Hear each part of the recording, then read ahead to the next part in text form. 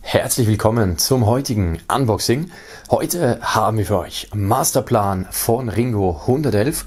Alle weiteren Informationen zu diesem Album, der Tracklist und dem Boxinhalt sowie natürlich auch die Links zum Album und zur Box findet ihr wie immer unter diesem Video in der Videobeschreibung. Masterplan von Ringo 111. Das Ganze erscheint am Freitag, den 13. Dezember. Wir haben hier mal wieder ein Release aus dem Bereich Deutschrap.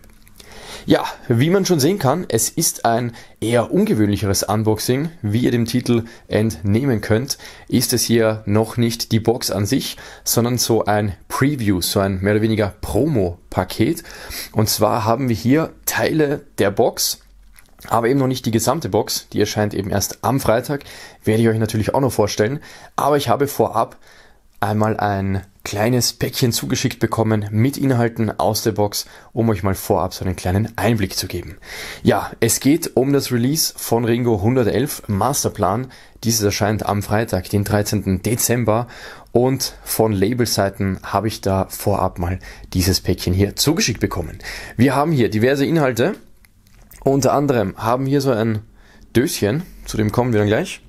Dann haben wir hier vier Sticker und noch ein, zwei, drei, vier Zetteln.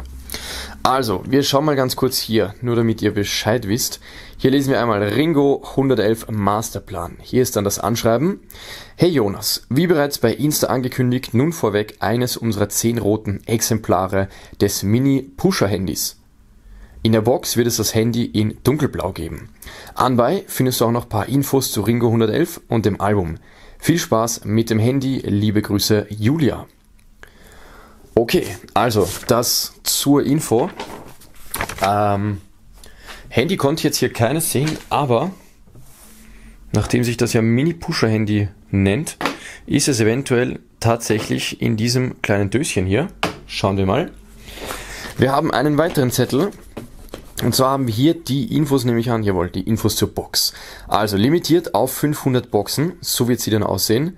Sehr schön. Also, das, alleine das ist schon für mich ein Pluspunkt, dass man hier wirklich transparent arbeitet und schreibt, es gibt davon 500 Stück.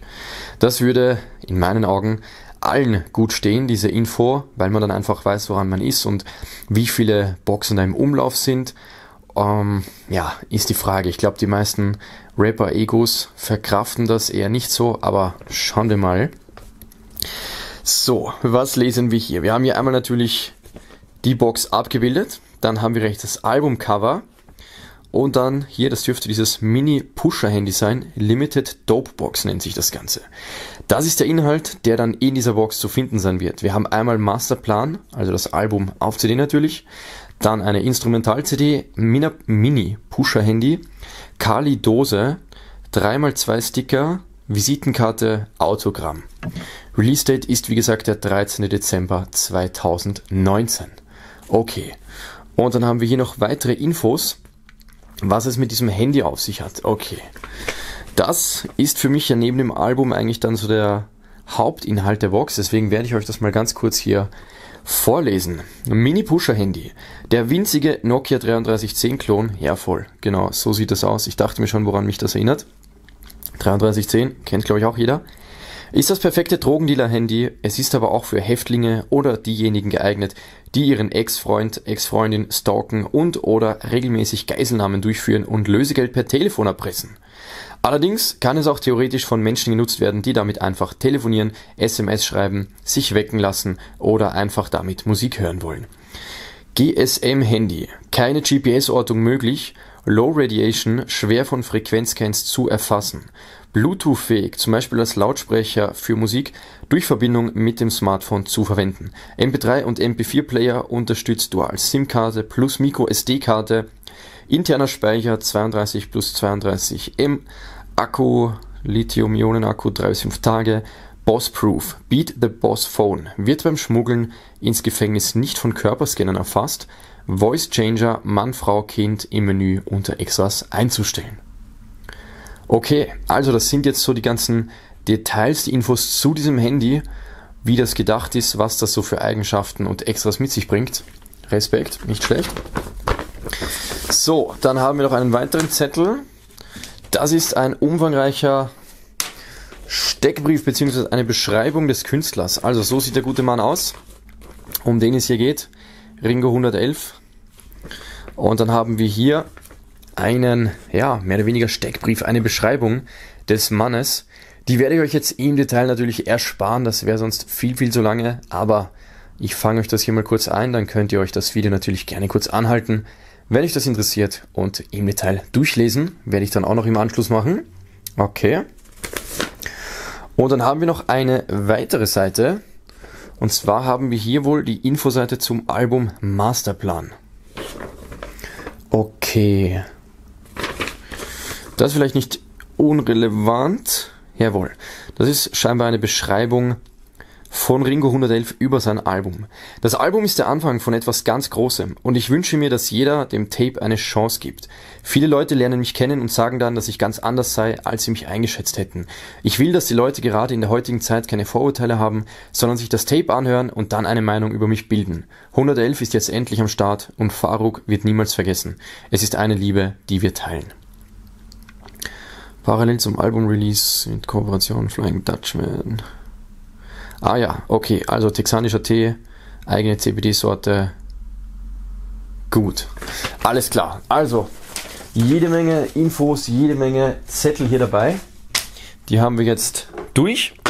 Und jetzt kommen wir zu dem Boxinhalt, zumindest zu Teilen des Boxinhalts. Also, wir haben zum einen hier mal Sticker dabei.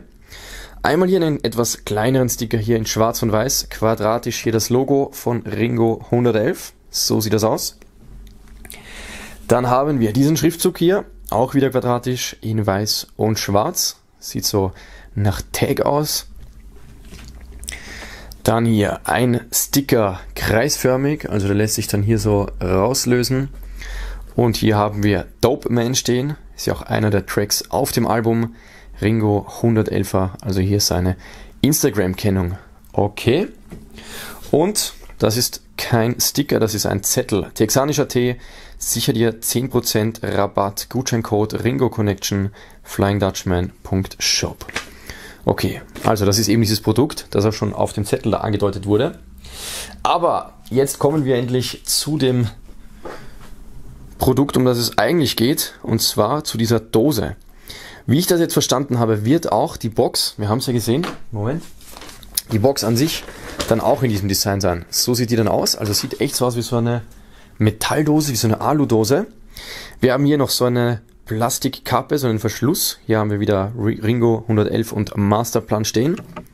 Das geht dann hier auf.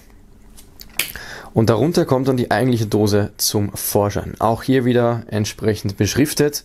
Albumtitel, dann das Logo von Ringo 111 und dann noch hier einmal der Tag. So sieht das von unten aus. Und das Ganze lässt sich dann hier, wie man es kennt, öffnen. Hier ist sogar noch so eine kleine Skizze, die uns erklärt, wie das aufgeht. Wir werden das jetzt einfach mal aufreißen und ich hoffe dann doch, dass wir das Handy hier vorfinden. Ja, jetzt hat sich bei mir der Verschluss hier leider gelöst. Ich schau mal ganz kurz, ob ich hier mit dem Messer etwas nachhelfen kann. Ansonsten muss ich dann eventuell doch noch einen Dosenöffner holen. Aber ich sehe schon, dass da was zum Vorschein kommt. Das Telefon. Und jetzt versuchen wir hier noch, muss ja gar nicht ganz aufgehen, einfach nur hier ein bisschen. Ja, das schaut gut aus. Oh ja, das sollte ausreichen. Also, wir haben hier tatsächlich in dieser kleinen Dose Kabelzeugs einmal und das Telefon. So sieht das aus. Jetzt ist nur die Frage, ob ich das hier noch rausbringe, da es ja noch etwas versperrt ist hier von dem Metall. Gar nicht so einfach. So. Jawohl, jetzt funktioniert's. Also, den Dosendeckel habe ich hier mal ganz brutal aufgeschnitten, aufgeknackt. Aber jetzt haben wir es endlich geschafft. Wir haben hier das Kabel. Und dann haben wir noch eine Gebrauchsanweisung. Okay, also, die werde ich euch auch mal ersparen, aber die ist natürlich dabei. Damit könnt ihr dann diverse Sachen noch nachlesen. Und hier haben wir dann auch noch eine Luftpolsterfolie, in der das Ganze eingepackt ist. Werden wir auch mal ganz kurz hier einschneiden, um dann entsprechend hier an den Inhalt zu kommen. Ziemlich gut verpackt. Aber jetzt. So, wir haben es geschafft. Ich kann es immer noch nicht glauben, das ist tatsächlich ein Telefon. Das ist so ultra klein. Ich weiß nicht, ob das jetzt rüberkommt, aber so, kleinen Moment. Das ist ein Telefon, wie wir es heutzutage verwenden. In diesem Fall ein iPhone 7. Und das hier, als echt ein Bruchteil dessen, ist dieses Mini-Pusher-Handy. Also Mini ist es auf jeden Fall. Was haben wir hier noch auf dem Display? Eine Folie. Remove Yellow Film on Battery before use. Okay. Ja, gut. Es sieht tatsächlich aus wie so ein kleines 3310. Ist in Rot gehalten. In der Beschreibung stand ja, dass es dann in der Box in Blau sein wird. Ich glaube dunkelblau. Das freut mich jetzt auch schon mal richtig. Das bedeutet, ich habe mit diesem hier ein, ja, mehr oder weniger Unikat. Hier lesen wir dann Masterplan, also das Logo von Ringo natürlich, nicht Masterplan, das Logo. Oben haben wir dann hier noch so sechs Öffnungen und hier dann scheinbar der Anschluss. Bedeutet, man kann das Ganze dann hier anschließen mit USB und dann kann man das hier laden. Jetzt ist nur die Frage, dann kann man das hier tatsächlich in Betrieb nehmen. Jetzt muss ich hier irgendwie das Ganze aufschieben. Aber in welche Richtung ist die Frage?